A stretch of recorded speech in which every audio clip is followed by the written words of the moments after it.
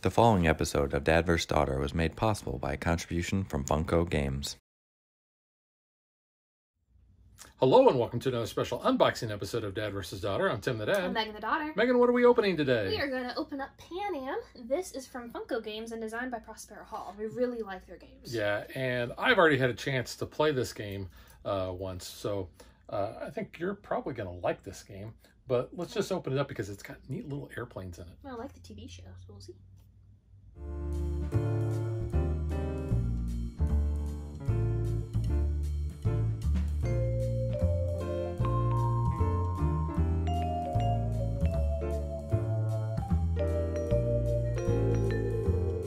So you have the classic Pan Am logo It's on the front. really cool. I like that. You got the airplanes. that one's there. named Clipper, apparently.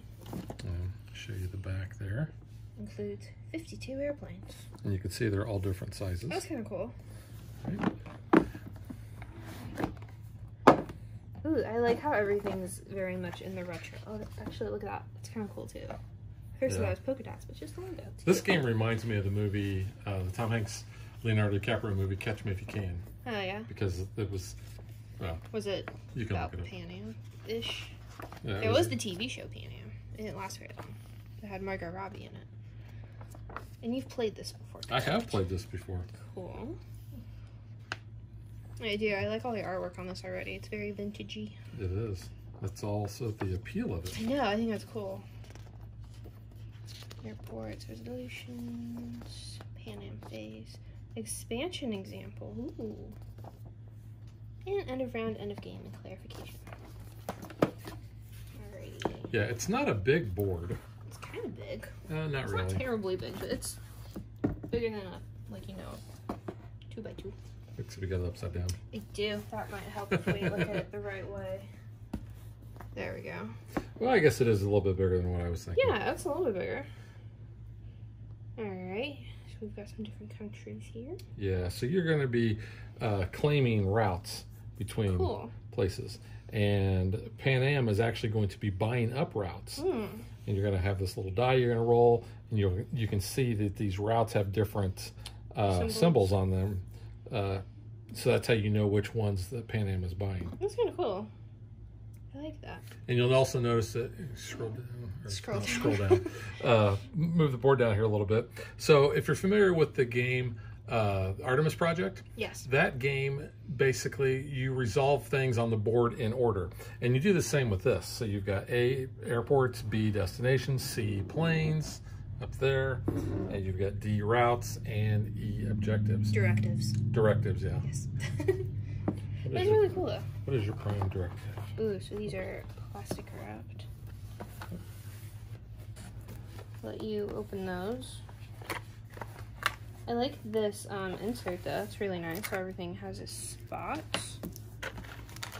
And you were just saying little bins. yep got bins for the That's planes. actually really cool. It will come with that. so each there are uh, four colors Yes. for each player Yellow, like army green. it does have green does have green, kind of maroon and gray. I don't know, it might be maroon. Maroon's kind of cool. Maybe gray's not bad. well if you choose maroon are you going to be you know, the big Maroon. rig The big rig Pat, Pat Maroon. Maroon, Yeah. former St. Louis Blue, who is uh, also a St. Louis Louis native, Yes. and uh, No, he's Tampa. Right? he's Camp Tampa Bay Lightning now, Yep. which is your other. It's my, my alternate team. yeah. Uh, so here we have each of the different player boards here. So the yellow is the Aero Cosmopolitan. The Grand Olympian Air is the maroon. Trans Imperial Airways is the gray, and then you would be Premier Interglobal. Yeah, because we're basically these other airlines that we want Pan Am to buy up our routes. That's kind of cool. So here you have your round sequence, so it tells you right there your income and your fleet. So it's kind of nice. The back is just their solid color. You've got some punch outs there of the plastic. Yeah, so uh, let's see, we got there. You can see there's the Pan Am little tokens there, and the first player. And then over here we have some more tokens. Yeah, these are basically going to cover up spots on the board. This is you were talking about kind of the retro look. Yeah. See how it looks like it was stamped on there? It does, yeah. Yeah. That's really cool. And you're going to look at these uh, other cards that we have, and you're going to see that These as well. so cool. I like that. Here's this die though, which I pulled out, which is really cool. While you open the other plastic wrapped items, so that's kind of cool. The old logo. Um, that looks like different routes. I'm assuming.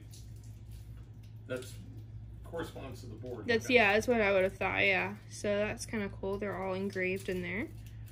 So that's nice. Yeah. You've got some cards. These are the stock cards, so you want to have stock. cool. So these are all fives, and feel that. Yeah, that's nice. Yeah, it's Very got a nice. really nice finish on there. Mhm. So then, we, so we have fives and ones.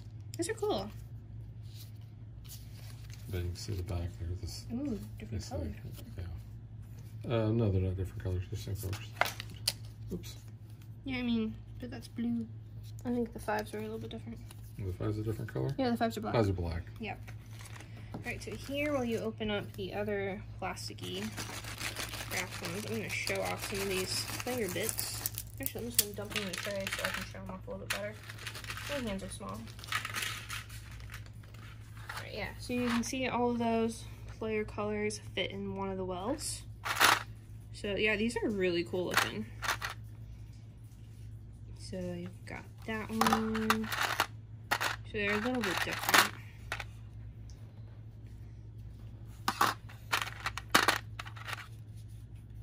These are really cool.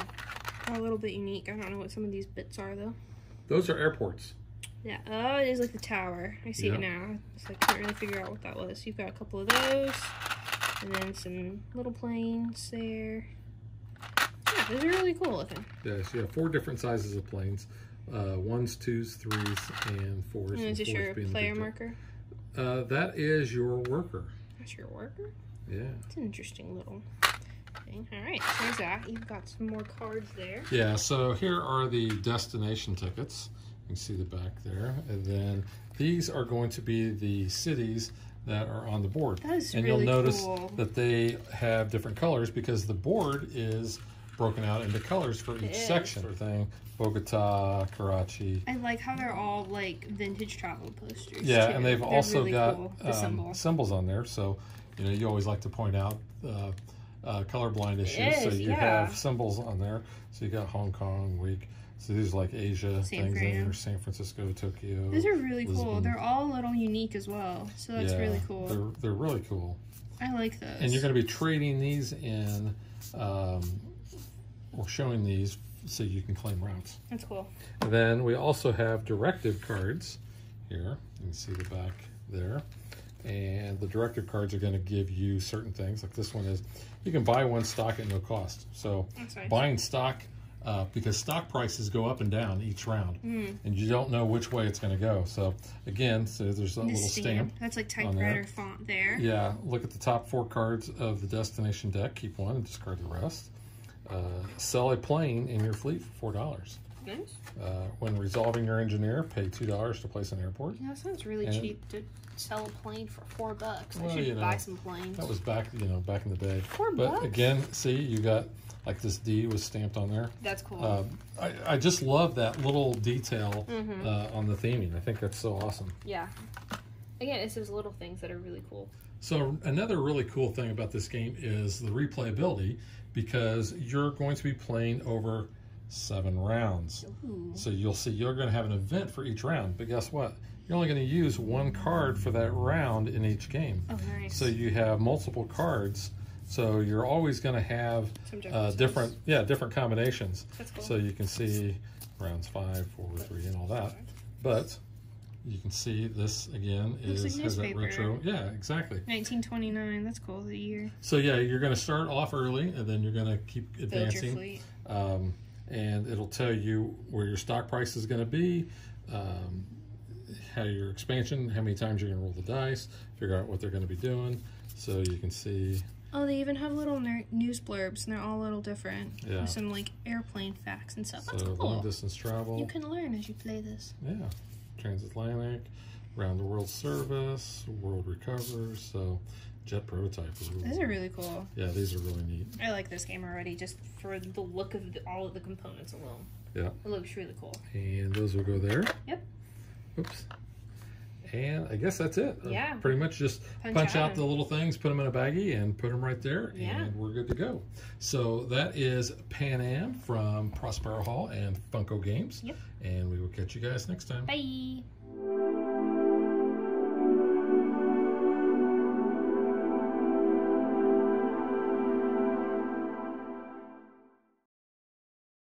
If you would like to support us, you can visit patreon.com slash dadvdaughter. Like and follow us on Facebook to stay current on our show schedule, sneak peeks at future shows, and to interact with us.